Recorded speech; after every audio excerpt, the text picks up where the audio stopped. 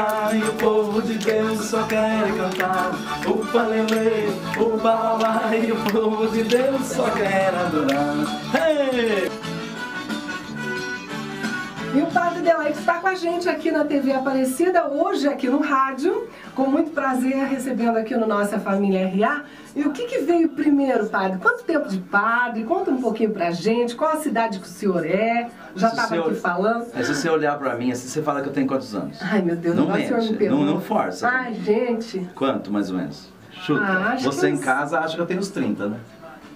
Acho que uns 30 e... Ai, como qualquer mal, né? 38. Mente mal. Não, chegando pros 40. É, chegando nos 60, né? Uai, o que, que é isso? É, tem 52 não, anos. Nossa, é. pai, não, brincadeira não. É, verdade, é, tem 52 não anos. parece. E tenho 26 anos de padre, né? Nossa. Graças a Deus. Beleza. Eu nasci na, na cidade mais bonita do país, Hum. Álvares Florencio. Olha, Né? O apelido dela é Igapira. olha. Né? É uma cidade pequenininha, lá no cantinho do estado de São Paulo, Uhum. beirando Minas e beirando Mato Grosso, né? Uhum. Uma cidade enorme. Se a vaca sentar, fica com o rabo fora, né? Lá tem uma placa na entrada, sabia? A placa da entrada desse bem-vindo, você vira, escrito volte sempre. Né? Então, Rapidinho. então é uma cidade maravilhosa, 2 mil habitantes, né? Uhum. É, eu nasci lá, depois fui mal criado em São Paulo, né?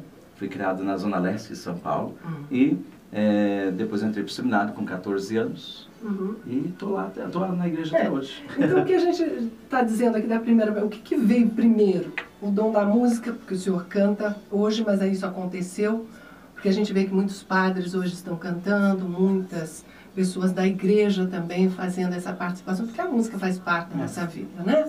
Ou, ou o desejo de ser padre, como é que foi esse desejo de ser padre? Olha, eu assim, eu, eu sonhei desde a minha primeira comunhão, né, em 82, né, é, em ser padre. O- o- como diz o padre Zezinho, né, eu nunca sonhei ser músico, poeta, nem cantor, mas eu quis e tão somente quero ser gente, cristão e padre. Né? E ser padre é, é a primeira, é a essência da minha vida. Não sei ser outra coisa, né? Cantar, eu não sei cantar não. Eu enrolo bem, eu só encanto. Cantar não canto, né? Mas é brincadeirinha, né? É, a música é aquele alicerce para a vida da gente. Eu comecei no rádio, eu trabalho no rádio, né? Trabalhei na Rádio América em São Paulo durante 20 anos, né? E o rádio foi levando a gente a isso. E até essa música, o Palelê, surgiu como uma brincadeira de rádio. Né? No encontro de jovens, uma criança caiu e eu disse, upa lelê. Ela olhou para mim e falou, upa lá lá. Falei, nossa, isso aí dá música. Né? E nós começamos a brincar. E a música vai surgindo. Né? E como a gente é bastante apaixonado, macaco de auditório de Padre Zezinho, é- e não tem jeito na minha geração de padre, não tem jeito da gente imaginar a evangelização sem pôr uma música no meio, Sim. sem fazer o povo se alegrar, sem fazer o povo sorrir, sem fazer o povo ver o brilho nos olhos do povo ao ver um padre que canta, né? ou que tenta cantar pelo menos. Né? Então a música vem em consequência.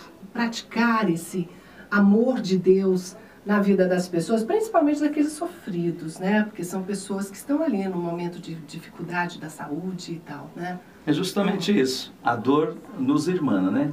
O amor nos congrega e a dor nos irmana, nos torna irmãos, né? E vendo os idosos, você acaba não pensando em religião, não pensando em, em ideologias, em doutrinas. A, A gente tira um pensa pouco na pessoa. todo, né? né? Sabe. Sinceramente, você fez essas perguntas, eu nunca me preocupo aí É. com isso de evangelizar, é, É. doutrinar, sabe? Uhum. De, de rotular a pessoa. Nunca. Boa pergunta. Eu vou começar a pensar nisso.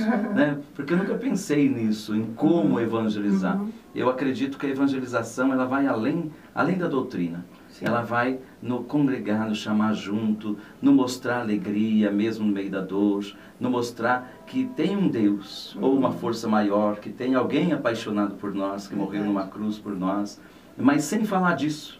Num abraço, no aconchego. Ótimo. E é tão bom perto dos idosos lá, porque a maioria tem Alzheimer. Então você fala uma coisa de manhã, de tarde não lembra mais Não nada tá que você falou. né? nada. Então você acaba falando 10 mil vezes a mesma coisa para ver se, se a pessoa desperta o coração para o amor, Uhum. não para a religião.